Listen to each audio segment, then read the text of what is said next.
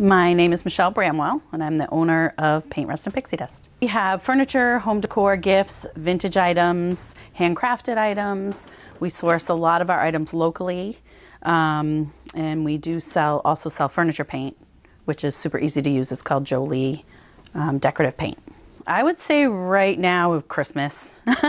um, the gnomes are doing really well this year, our little um, gnome guys that are all around and um, ornaments, lots of ornaments right now. Had a lot of early shoppers, early Christmas presents. We're not typically doing um, gifts this time of year, but a lot of our customers are asking for our gift wrap, which we do complimentary. Um, so we're doing a lot of that this year early. Typically that starts after Thanksgiving. Um, so I think people are thinking early and just getting um, all their gifts done you know, slowly but surely rather than the mad rush in December. Well, the shutdown wasn't fun. Um, we definitely had to rethink our business plan a little bit. We did curbside pickup. We started a e-commerce website.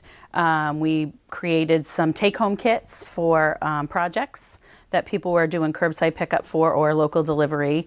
Um, so we were able to at least pay the rent um, and keep things going somewhat. So you would get a um, like a 12 by 12 board and it has um, it comes with everything you need to make a sign. It has the stencil, the paint, the brushes, the you know sponges for daubing, and there were all different things like um, one for video games, um, unicorns, coffee, all kinds of different ones for every age group. So we're on Facebook and Instagram, and we have a website, shopprpd.com.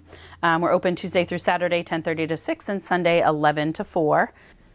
So if you see anything on our Facebook page or Instagram and that you're interested in purchasing, but you're still not ready to come into a store, you're welcome to give us a call. We'll take a payment over the phone and do curbside pickup for you. So there's no contact um, purchasing.